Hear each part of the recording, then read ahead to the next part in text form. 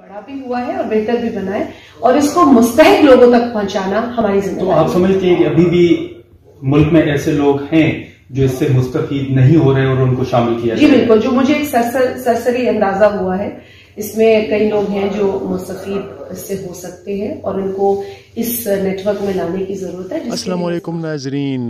जैसे कि आपने वीडियो में शाजिया मरी पाकिस्तान एहसास प्रोग्राम के नी चेयरपर्सन से ख़ुद सुना कि हम नए लोगों को जो लोग नाहल कर दिए गए थे, उनको दोबारा प्रोग्राम में ला रहे हैं। सबसे बड़ी खुशखबरी है ये, और बहुत ही बड़ी खुशखबरी यहाँ पे रोस ने ख़ुद कहा है। नई चेयरपर्सन ने कि जितने भी लोग नायल हो गए हैं पिछली हुकूमत में उनमें बहुत गरीब ख़ानदान है मुस्तक ख़ानदान है, वो भी नाअहल हो चुके हैं।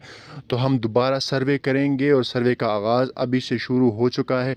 अगर आपने भी इस सर्वे का हिस्सा रहना है, हिस्सा बनने की कोशिश करना है तो आपने सिर्फ़ इक्यासी इकहत्तर पर अपना शनाख्ती कार्ड नंबर सेंड करना है। आपको मैसेज आ जाएगा और आप इस सर्वे के अहल हो जाएँगे। यानी कि आपको इस सर्वे में शामिल कर दिया जाएगा, जो कि एहसास प्रोग्राम के नाम से है। और ये ख़बर बहुत ही बड़ी ख़बर है तमाम नाजरीन के लिए। जल्दी से जल्दी से इस वीडियो को शेयर करें ताकि उन लोगों को भी पता चले जो नाअहल हो चुके हैं और उनको नहीं पता कि दोबारा प्रोग्राम का आगाज़ हो चुका है, दोबारा अहल कर रहे हैं लोगों को। उम्मीद है आपको वीडियो अच्छी लगी होगी। मज़ीद वीडियोज़ के लिए हमारे यूट्यूब चैनल को सब्सक्राइब कीजिए। शुक्रिया। अल्लाह हाफिज़।